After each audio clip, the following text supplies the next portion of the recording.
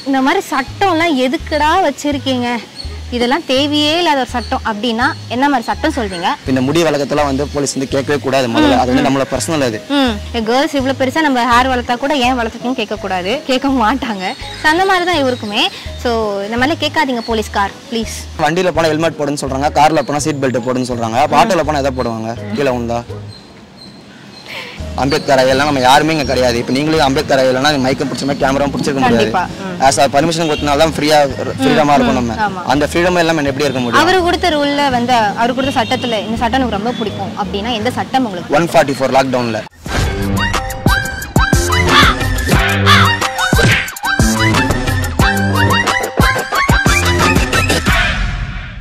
முக்கியமான ஒரு கேள்வி இவர்கிட்ட நான் கேட்க போறேன். அது உங்களுக்குமே ரொம்பவே நிறைய அனுபவப்பட்டிருப்பீங்க. ரூல்ஸ் இந்த மாதிரி சட்டம்லாம் எதுக்குடா வச்சிருக்கீங்க? இதெல்லாம் தேவையே இல்லாத ஒரு சட்டம். அப்படின்னா என்ன மாதிரி சட்டம் சொல்வீங்க இல்லை இந்த மாதிரி சட்டம்லாம் கண்டிப்பாக தேவை அப்படின்னா ஒரு அஞ்சுல இருந்து ஒரு மூணு சட்டம் சொல்லுங்களேன் ஒரு ரூல் சொல்லுங்க.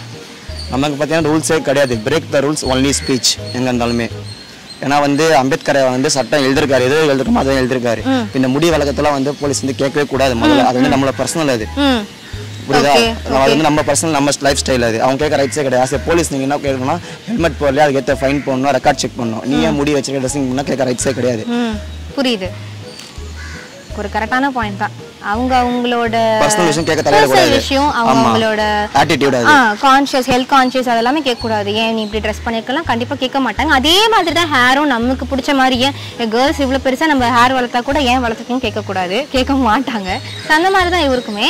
ஸோ இந்த மாதிரிலாம் கேட்காதீங்க போலீஸ்கார் ப்ளீஸ் ஓகே அப்புறம் வந்து ஹெல்மெட் போட்டு போன்னு சொல்றாங்க. இந்த ஹெல்மெட் போடுறது நிறைய வந்து மிஸ்யூஸ் நடக்குது. அது பப்ளிக் யாருக்குமே தெரிய மாட்டேங்குது. ஒரு ஒரு கேர்ள் இப்போ காலேஜ் முடிச்சுட்டு ஏழு மணிக்கு வீட்டுக்கு போறாங்கன்னா அந்த ரோட்ல யாருமே இல்லைனா ஸ்நாச்சிங் பண்ணிட்டு போயிடுறாங்க. அப்ப அது காரணம் வந்து என்ன? ஹெல்மெட் தான் காரணம். ஃபேஸ் தெரியாது. அவங்க கஷ்டப்பட்டு படிச்சுட்டு வீட்டுக்கு போவாங்க. அந்த நேரத்துல இப்போ ஸ்நாச்சிங் பண்ணிட்டு போயிட்டா ஹெல்மெட் போட்டா எப்படி ஃபேஸ் தெரியும்? ஹெல்மெட் போடலாம். ஹெல்மெட் ஈவினிங் டைம்ல போடுறது அவாய்ட் பண்ணலாம். ஹெல்மெட் இல்ல ப்ரோ நம்ம எப்படி பார்த்தாலுமே ஒரு நல்ல விஷயம் எடுத்து அதுல கெட்டதும் இருக்கும். கண்டிப்பா. நம்ம அப்படி பார்த்தா அதே மாதிரி இன்னும் ஹெல்மெட் போட்டாலும் வந்து பின்னாடி வண்டி தெரிய மாட்டேன். நைட் டைம்ல யூட்டன் பண்ண முடியல பண்ண முடியல. பைபாஸ்ல போனா. ஆனா அவங்க சேஃப்டிக்காக சொல்றாங்க சேஃப்டி தான் சொல்றாங்க. ஹெல்மெட் பண்ண சொல்லி ஹெல்மெட் மிஸ்யூஸ் நிறைய நடக்குதுல்ல. இப்போ பைக்ல வந்து ஹெல்மெட் வச்சுட்டு போனா ஹெல்மெட் திருடின்னு போயிடுறாங்க. அது இன்னும் எவ்வளவு கஷ்டமா இருக்கும். அது காசு கொடுத்தா வாங்கி வச்சிருப்போம். அது ஹெல்மெட் திருடின்னு போகும்போது. புரியுது.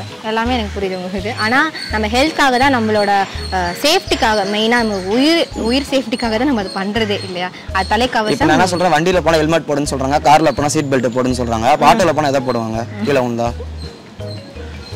என்னால இதுக்கு பதில் சொல்ல முடியல. அவர் கேக்குறதும் கரெக்ட் தான்.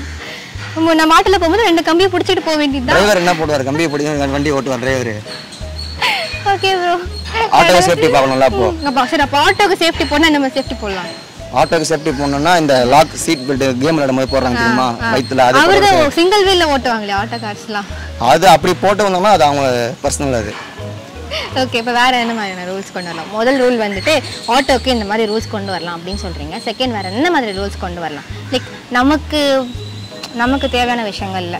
உங்களுக்கு இருக்கும்ல ஆ அதுதான் அதான் சொன்னேன்ல. இப்போ பர்சனலை பற்றி கேட்க எதுவுமே கூடாது. அது ரூல்ஸ் நல்லா இருக்கும். Okay dressing sense hair style எதுவுமே வந்து கேட்கக்கூடாது சொல்லிட்டு ரூல்ஸ் ஒன்று வந்தால் கண்டிப்பாக இருக்கும். கண்டிப்பா கேட்க மாட்டாங்க. இதுக்கப்புறம். கொஞ்சம் கொஞ்சமா கேட்கலனா கூட இதுக்கப்புறம் இது ஒன்ஸ் வந்துட்டு பார்க்க ஆரம்பிச்சிட்டாங்க அப்படின்னா கண்டிப்பா இது நிறைய பேருக்கு இருக்கும். நிறைய பேர் வந்து வேற டாக்டர் அம்பேத்கரோட பர்த்டே வேற. அதனால நான் வெயிட் பண்ணிட்டு இருக்கேன் நாளைக்கு. காலைல அங்கே போயிட்டு கண்டிப்பா ஒரு அவர் சாருக்கு வந்து மாலை ஒன்று ரொம்ப பிடிக்குமா? ஆமா. ம். சூப்பர் அம்பேத்கர் ஐயெல்லாம் நம்ம யாருமே இங்க கிடையாது. இப்போ நீங்களும் அம்பேத்கர் ஐயெல்லாம் மைக்கம் பிடிச்ச மாதிரி கேமரா பிடிச்சிருக்க முடியாது. ஆஸ் ஆ பர்மிஷன் கொடுத்தனால தான் ஃப்ரீயா ஃப்ரீடமா இருக்கும் நம்ம. அந்த ஃப்ரீடம் எல்லாம் எப்படி இருக்க முடியும்? அவர் கொடுத்த ரூல்ல வந்து அவர் கொடுத்த சட்டத்துல இந்த சட்டம் எனக்கு ரொம்ப பிடிக்கும் அப்படின்னா எந்த சட்டம் உங்களுக்கு ஒன் ஃபார்ட்டி ஃபோர் லாக்டவுனில் நூற்றி நூற்றி நாற்பத்தி நாலு சட்டம் ஊரடங்கு சட்டம். இப்படி நிறைய டீனேஜர்ஸ் நிறைய யங்ஸ்டர்ஸ்க்கு வந்துட்டு எப்பா ஏன்டா எங்களை வீட்டில் உட்கார வச்சிங்கன்னு அப்படின்னு சொல்லிட்டு இருந்தாங்க. அந்த சட்டம் போட்டனால தான் வந்து பப்ளிக் கொஞ்சம் பயந்துன்னு உள்ளே இருந்தாங்க நிறைய பேர். கொரோனா கம்மியாச்சு. அது இன்னும் போடாம இருந்தாலும் இன்னும் ஸ்ப்ரெட் தான் இருக்கும். ஓகே இதுக்கப்புறம் இருக்கும்னு நினைக்கிறீங்களா. சொல்லிட்டு தான் இருக்காங்க. அது வந்து சும்மா ஃபேக் அது. ரூமர் அது. அப்படி அந்த மாதிரி போட்டாங்கன்னா மறுபடியும் உங்களுக்கு ஹாப்பியா ஆ அந்த மாதிரி போட்டா ஹாப்பின்னு கிடையாது. அந்த மாதிரி போட்டா கஷ்டமா தான் இருக்கும்? சீனியர் சிட்டிசன் வந்து சேஃப்டியா இருப்பாங்கல்ல. டெத்தஸ் வந்து கம்மி கம்மியாகும் உங்களுக்கு. டெத்து கம்மியாகும் சேஃப்டி அதிகமா இருக்கும்ல. சின்ன சின்ன குழந்தைங்களாம் அவ்வளோ பாவம். பான் பேபில எவ்வளவோ இருக்கும். அது மாதிரி வெளில வந்து டஸ்ட் பட்டு தான் என்ன பண்ண முடியும்? ஆனா வந்து நம்ம வேலைக்கு போனா நம்மளால சாப்பாடும் சாப்பிட முடியும். நிறைய பேர் வந்து வீ- வீ- வீட்ல தான் வந்துச்சு வேலை எல்லாமே. மொபைல் லேப்டாப் எல்லாமே இருக்கு. ம். ஆனா இந்த மாதிரி வந்து வெளி வெளியே கடை போடுறாங்க. அந்த மாதிரி இருக்கிற மக்களுக்கு வந்து கவர்மெண்ட் தான் வந்து ஹெல்ப் பண்ணும் அதாவது. ஓகே பென்ஷன் மாதிரி கொடுத்தா நல்லா இருக்கும். சரி ஓகே இப்போ அந்த மாதிரி ரூல் வந்து போடணும் அப்படின்னா என்ன மாதிரி பண்ணீங்க. சப்போஸ் இப்போ கொரோனா வந்துருச்சு. ஓகேவா சாரி வரக்கூடாது. பட் இன்கேஸ் தவறாம இந்த மாதிரி வந்துருச்சு அப்படின்னும் போது என்ன மாதிரி ரூல் கொண்டு வரலாம்? இந்த மாதிரி எளிய மக்கள் மக்களுக்கு என்ன மாதிரியான ரூல்ஸ் கொண்டு வந்தா அவங்களுக்கும் வந்துட்டு பயனுள்ளதா இருக்கும்? அதுதான் வந்து இப்போ டெய்லி வந்து அங்க கடை போடுறவங்க இது பண்ற சம்பாதிக்கிறவங்க வந்து அன்றாட தேவைக்கு வந்து கவர்மெண்ட்ல இருந்து பர் டே வந்து ஃபைவ் ஹண்ட்ரட் அந்த மாதிரி கொடுத்தாங்கன்னா அவங்க குடும்பத்துக்கு கொஞ்சம் யூஸ்ஃபுல்லா இருக்கும். பால் வாங்குறதோ இல்ல அரிசி வாங்குறதோ யூஸ்ஃபுல்லா இருக்கும். ம். கண்டிப்பா ரூல்ஸ் கொண்டு வரலாம் இல்லையா? ஆ கொண்டு வந்தா நல்லா தான் இருக்கும். ஓகே ஸோ இவர் மூலியமா நம்ம ஒரு முக்கியமான மூணு விஷயங்கள் வந்து பார்த்துருக்கோம்.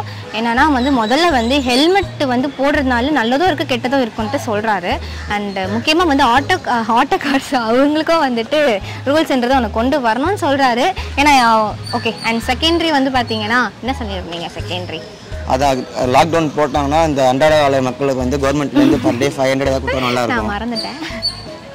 அண்ட் மூணாவது ஒரு ரூல் என்ன சொல்லியிருந்தீங்க? மூணாவது ரூல் வந்து ஒன் ஃபார்ட்டி ஃபோர் சட்டம். அதே மாதிரி நான் பர்சனை பத்தி யாரும் கேட்கவும் கூடாது வெளில. பர்சனலான ஒரு விஷயம் முக்கியமான விஷயம் ஹைலைட் பண்ணி சொல்றோம். அவங்க உங்களோட பர்சனல் திங்ஸ் அவங்க பர்சனல் வந்து நோண்டாதீங்க. எங்களோட அப்பியரன்ஸை பார்த்து வந்து எங்களை கேள்வி கேட்காதீங்க எல்லா முடி வச்சவனும் வந்து கெட்ட பையனும் கிடையாது முடி இல்லாதவனும் கெட்ட பையனும் கிடையாது. கண்டிப்பா.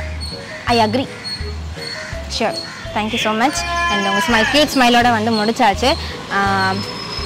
அண்ட் இங்கே இங்கே வாங்க ப்ரோ பீஸா பாருங்க. சாப்பிட்டுக்கனே பீஸ்ஃபுல்லாக இருங்க. மறக்காம பிசாஸ் சேனலை வந்து லைக் பண்ணுங்க கமெண்ட் பண்ணுங்க பெல் பட்டனை டங்குன்னு கிளிக் பண்ணுங்க மறக்காம. ட்ரை பண்ணுங்க இந்த மாதிரி நிறைய வீடியோ உங்களுக்கு வரும். Bye bye bye bye thank you